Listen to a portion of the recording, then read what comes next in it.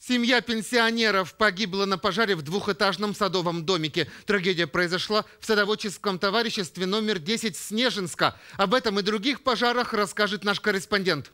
По предварительным данным, пара отравилась продуктами горения. Им было 85 и 77 лет. Площадь пожара составила около 10 квадратных метров. Причина, из-за которой началось возгорание, устанавливается. В Садке произошел крупный пожар на складе строительных материалов. Сообщается, что для тушения пожара было привлечено 9 единиц техники и 31 человек личного состава, включая руководство частей. Причиной возгорания стало нарушение требований правил пожарной безопасности при складировании и перемещении строительных материалов пожаров. Жители Южноуральска напугал пожар в районе центрального стадиона. В МЧС сообщили, что по предварительным данным вспыхнули покрышки. В Копейске сгорел дом, сарай и веранда. По данным МЧС, в тушении участвовало 5 единиц техники и 19 человек личного состава. Причина возгорания устанавливается. Главное, что пострадавших нет. В Златоусте произошел пожар из-за короткого замыкания розетки, в которую был включен холодильник. Просто замкнула вот резетка за холодильником и все.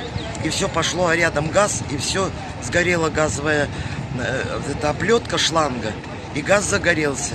Это хорошо, вот вовремя приехали, газ перекрыли. В квартире в момент ЧП находились бабушка с внуком. Они успели позвать на помощь и выбежали на улицу. Пожилой хозяйке потребовалась помощь медиков из-за нервного напряжения. В Кыштыме на улице Калинина случился пожар. Там вспыхнули хозпостройки. Огонь охватил 50 квадратных метров. Пламя ликвидировали за несколько минут. Пострадавших нет. Этот пожар случился на улице Белинского в Троицке. И тоже никто не пострадал. Причины возгорания устанавливаются. В Магнитогорске на улице Совет Советской сгорела крыша частного дома и беседка. Пламя бушевало на площади в 30 квадратных метров. В Нежинске возник пожар на трибунах за школой номер 125. Огнеборцы быстро потушили пламя. Причина возгорания пока неизвестна. Жилой дом тушили в Низепетровске, а в Челябинске на Свердловском тракте полыхал автомобиль. Он загорелся, видимо, из-за короткого замыкания во время движения.